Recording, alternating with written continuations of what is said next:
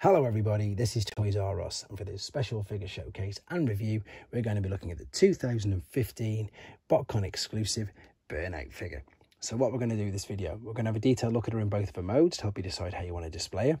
We're going to have a look at the accessories that come with it to help you know if yours is complete and we can see loads of different ways we can use them. I'll show you the collector's card that came again with it. The other figure that also came as part of a two-pack as the BotCon exclusive. And of course, we can do some comparisons and some similarity checks with other figures that have shared and used the same mould. So lots to get through with you today and I'd like to remind anybody if they've not subscribed to this channel to hit that subscribe button for me now please because it really will help me out so here she is the first official transformers release of burnout this is character of course is based on an old diaclone figure but let's do some first impressions first and foremost. So we've got a lovely head sculpt there. Um, it's on a ball, so you've got full rotation, articulation up and down. I suppose one funny fact to point out is that there's lovely light piping at the back there, but then they've gone and painted her eyes, so it's absolutely pointless. The shoulders, there's not the greatest articulation, to be honest. They can pretty much bump into everything. There's a bit of movement. It is a bit restricted. It will go up and down. You can see that there's bicep flexion on a ball and socket though. Uh, the wrists do not turn, but of course you've got the ball and socket, so the forearms will turn. You've got a waist swivel. It will go all the way around. You've got knee bend and you've got loads of articulation in the ball and socket with the ankle tilt, rock and bend. You can also see she's got an abundance of arsenal and accessories, which I'll show you in a bit more detail. But as I say, first impressions of this figure is great. It is a redeco of the Thrilling 30 skids mold. So they've took the IDW stance on skids. Um, and yeah, I think that she looks great. So what we're going to do with the rest of the video, we're going to have a detailed look at it now in alternate mode before coming back to do some detailed comparisons and weapon configurations back in Robot. Okay, here she is in her absolutely stunning, beautiful alternate mode, and I'm sure you'll agree, she does look great. Quick apologies for no transformation process on this video. It will be uploaded separately. It's for a couple of reasons. One, to keep the length of this video down, and two, is not to spoil it for anybody who doesn't want it spoiling for themselves. You can see you've got this lovely red stripe that works bringing up the back.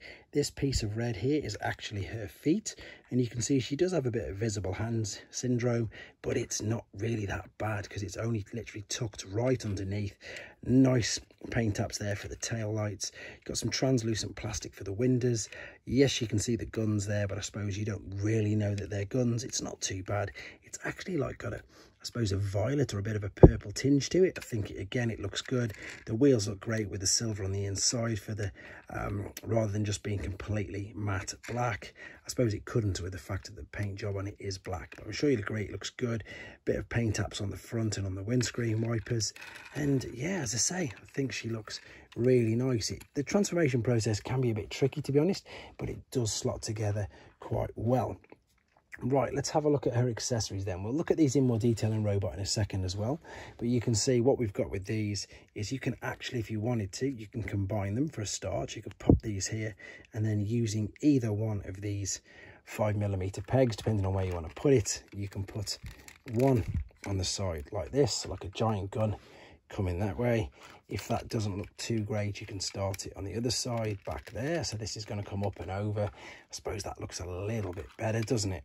It doesn't look too bad at all but of course because you've got the two five millimeter ports it would make perfect sense if you split them up like this.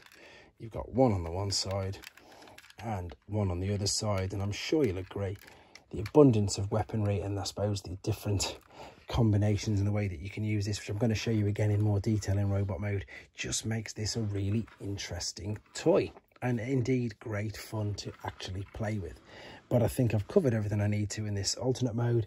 Let's go back to robot mode for the final time and do some comparisons and some weapon configurating as well. So then, back for the final time in robot mode, and this is the main reason because I'm going to choose to be displaying her in this mode. So, also you may notice she might look a little bit different, and that's because what I'm going to show you now briefly is just, you know, her arsenal, and all, I suppose, the added artillery that she's got. The main transformation process, again, will be in a separate video, but I'm going to show you these. So you can see straight away we've got the twin guns underneath the forearms. These very simply just fold out. Nothing too difficult with that.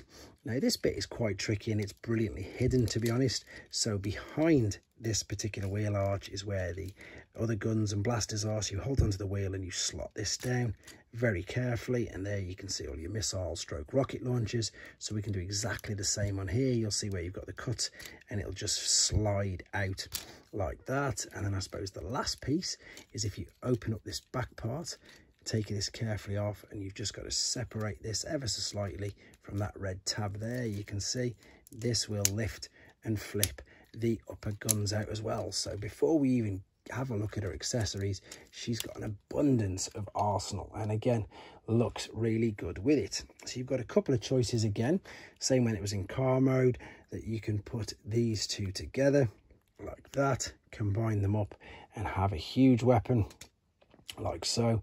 And again, she still looks great because she's got the twin blasters underneath and the ones coming over the shoulders with everything else. But again, of course, you can separate these into two and just give her even more artillery. So let's get this shoulder out a little bit further.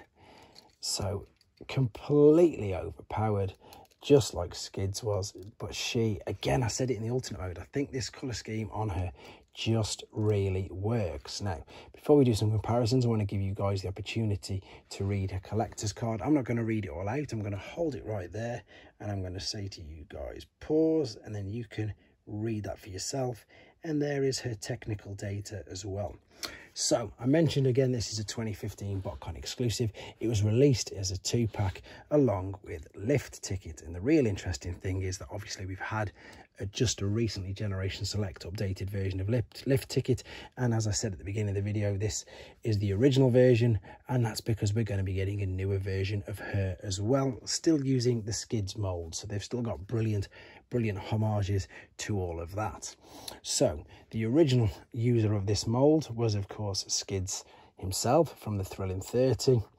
And this is going to be really difficult. Let's just move his arm forward, counterbalance him. There he is.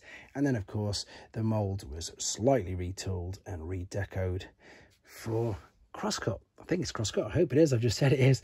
I may have got it wrong. Let me know in the comments if I have, but I'm pretty sure it is. Anyway, there they are, all three together. I hope you enjoyed looking at them. Um, I hope it helped you with your decision if you wanted to get one for yourself. And again, I suppose I hope it educated you if you've not seen this particular version of her before. Anyway, guys, thanks for watching. Take care. Thanks for watching. Like and comment. And don't forget to subscribe.